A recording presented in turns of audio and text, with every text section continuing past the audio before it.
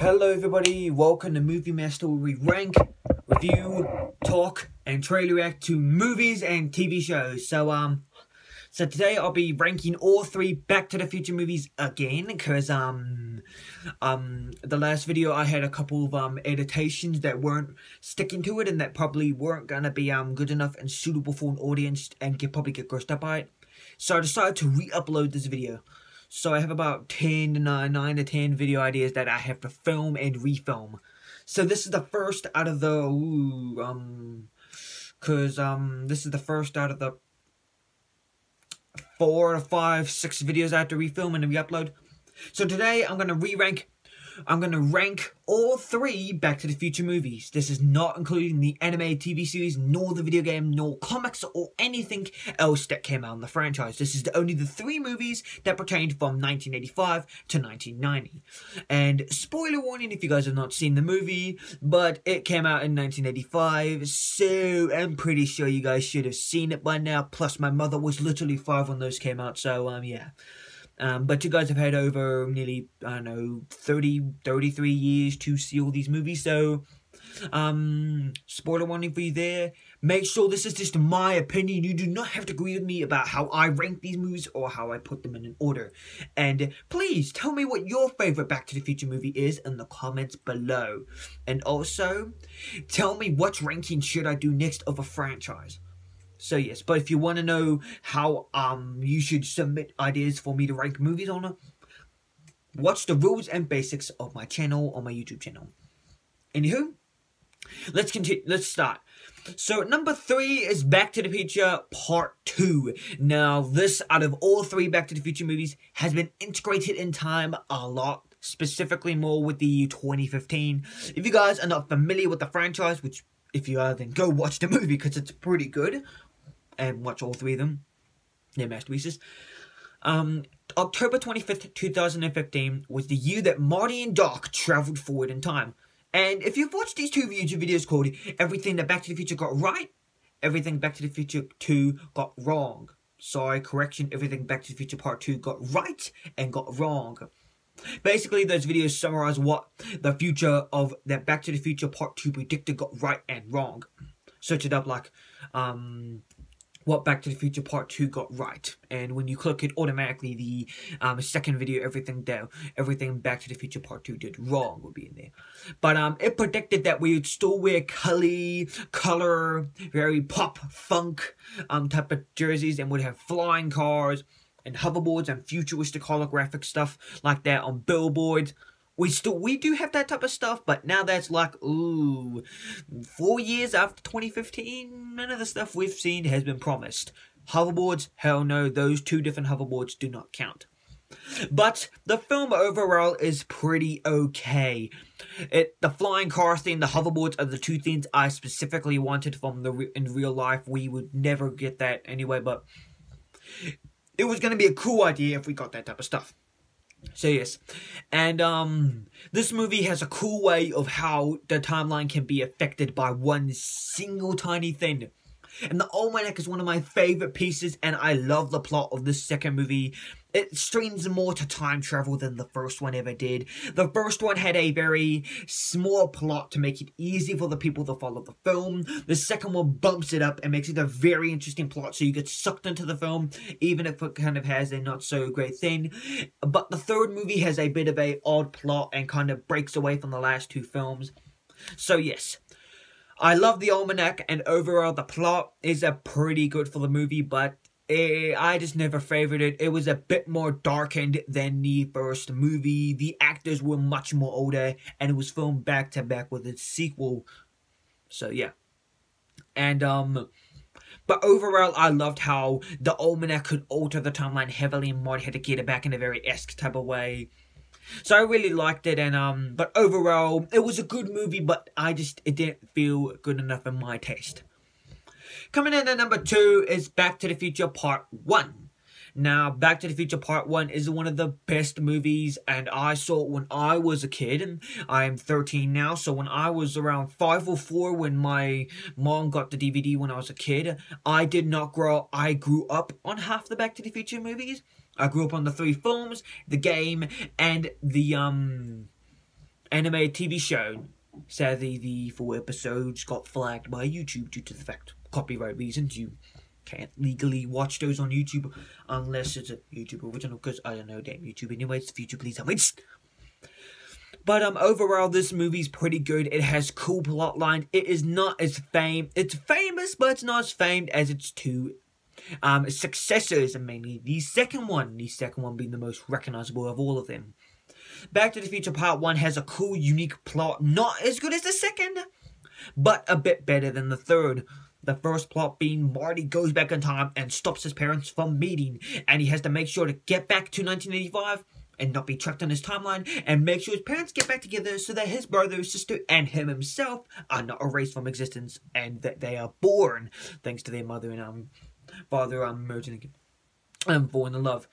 I love the plot of this movie. It's funny. It is a bit weird how um um Lorraine ha- wants to um make his own have have um have it with his own son with her own son, which is weird, but it's fun.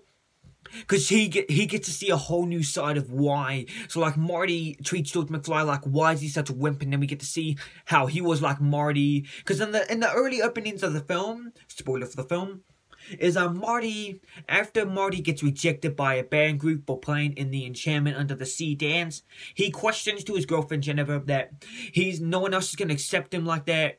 And he and the same thing happened with his father when he wasn't writing a book and um and Marty wanted to read some, but um George said no no no no. What if people didn't like me? What if they told me I was no good? And that was a relatable thing for Marty because he himself thought that nobody thought he would have been good with rock music, but his father taught him a valuable lesson of that. And in doing so, he made his parents and mom and dad fall in love in a better light and grow up.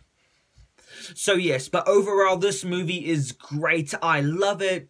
The DeLorean's awesome. It looks like a time machine. It's very 80s. Doc Brown is played brilliantly with humor and a lot of fun and interesting and scientific areas plucked in and put in there by Christopher Lloyd. And his dog Einstein it's a cool dog and inspired by a scientist. So yes, and Marty is a is a kind of relatable teenager. He's played by the cool Michael J. Fox, who has sadly got Parkinson's now. At this time, it was lucky that we got him, and even though he was played by Eric Stoltz originally, but we were lucky enough to get him on there, and thank God that he was able to shoot this film, even if he had to get dragged out of his Volkswagen and get carried to his into his house and get put into his bed. He filmed Family Ties back in the 80s, so he had to try and do Family Ties in the morning and do Back to the Future in the night, and then which is mostly why you see Marty's scenes, because in the film, back in 1985, around 1985, um, after recently having to fire Eric Stoltz for unknown reasons. Okay, let me go back. So, Michael J. Fox had got a job on Family Ties and been working in a movie like Teen Wolf. And director Robert Zemeckis, Bob, and producer Bob Gale, and executive producer Steven Spielberg came over to check out for some actors to play the part. Michael J. Fox was interested in playing the role, and um, when they said when the creator of um or producer or whatever it was of Family Ties said no. Um, later on, they had to recast it to Eric Stoltz. But when they filmed with him, they thought he didn't have the humor that Michael J. Fox would then incorporate into the character. So they had to fire him for unknown reasons. It's very complicated. So soon, the um the man who was doing Family Ties gave Michael J. Fox the script. He read it. He was interested, and finally he had to do a whole long thing where he shot Family Ties in the morning, got into a vault, into a um paddy paddy wagon and got driven all the way to Universal Studios, napping during that time, shot back to the future, went back to his house, and if he was still napping, they'll drag him out of it, take him out of the wagon, paddy, paddy wagon, take him into his house, and put him in his bed. Sounds a bit creepy and weird, but no, it was movies back then. And um, on the weekends, most of the morning shots were shot on Saturdays and Sundays on his weekends when he was available when he wasn't shooting Family Ties. Which is explains why half the scenes take place at night and in day, because he had to do a very rigorous schedule.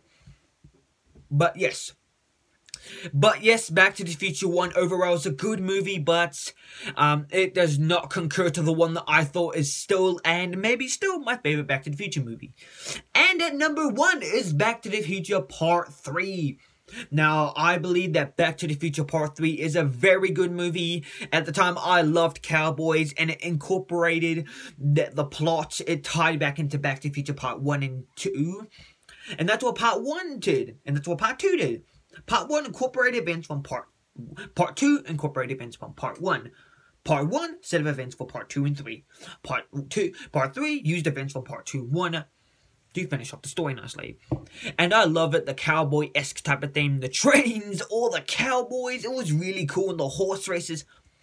And the DeLorean getting destroyed, it's a sad moment, but it's a moving mom moment for the DeLorean getting destroyed. It means the end of an era for Doc and Marty. Even though it's 1990, the movie that was released, it was took place in 1985 still.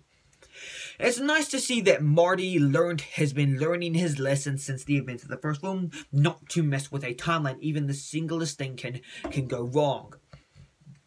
And that's what happened with Doc. He got distracted and started bumping and changing the timeline, like going, whoop, whoop, whoop, let's take this out, let's take that out, let's throw this in, let's throw this in, let me, let me hang out with this dead girl that's supposed to be dead, throw this out, pop this in, pop this in, shove a time machine in there, blow up a train, and basically try to shoot a train conductor, blah, blah, blah, throw that out, have two kids with a dead, who woman who's supposed to be dead, and boom, got a new timeline.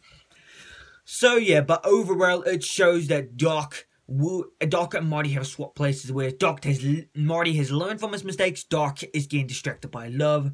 That he's not learning, he's not listening to what he told Marty several times in the first two movies.